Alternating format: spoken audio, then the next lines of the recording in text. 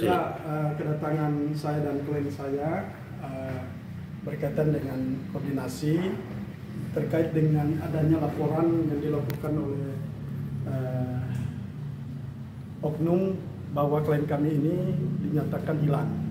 Nah, kami di sini untuk berkoordinasi terkait dengan laporan tersebut.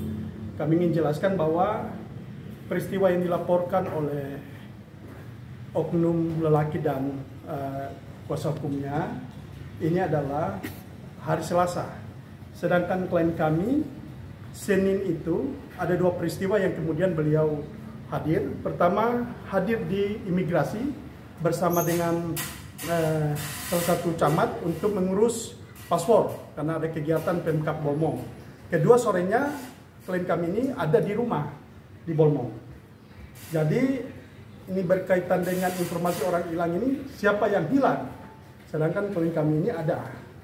Saat ini teman-teman bisa menyaksikan sehingga kedatangan kami ini untuk bagaimana langkah yang akan kami lakukan karena ini berkaitan dengan uh,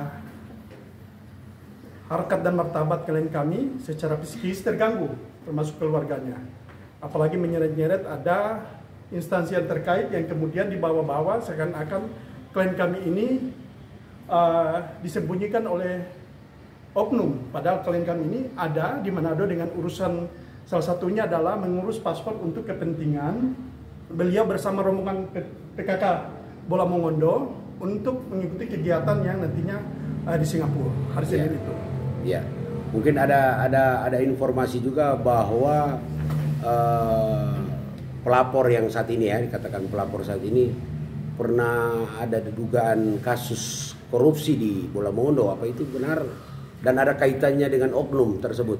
Ya kami bantah bahwa uh, klien kami tidak pernah diperiksa oleh penyidik Polres Bolmo maupun Kota Mobagu berkaitan hmm. dengan kasus dugaan tindak pidana korupsi yang kemudian uh, informasi beredar luas bahwa ada dugaan korupsi yang dilakukan oleh klien kami yeah. di uh, Bolmong waktu itu beliau menjabat Sangadi pihak kepolisian dan klien kami menyatakan tidak pernah dipanggil baik dari 2021 sampai sekarang tidak pernah dipanggil baik memberikan keterangan sebagai saksi berkaitan dengan dugaan tindak pidana korupsi. Yeah.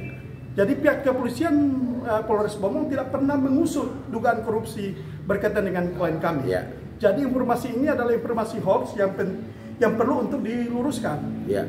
Jadi mungkin ini ada dugaan motif dari kejadian ini apa sebenarnya dari penilaian atau dari kacamata pengacara sendiri? Kami masih menyelusuri berkaitan dengan ada motif apa. Ya. Kemudian uh, melakukan langkah-langkah seperti ini. Hmm. Nah, klien kami juga mudah dihubungi. Nomor WA-nya juga aktif. tetap sama dan aktif berkomunikasi. Ya. Oke, okay. dan ini sudah dilaporkan di SPKT Polda Sulawesi Utara. Kami datang untuk berkoordinasi dulu, tadi dilayani untuk konseling, untuk ya. melakukan langkah-langkah hukum yang akan kami lakukan uh, berikutnya.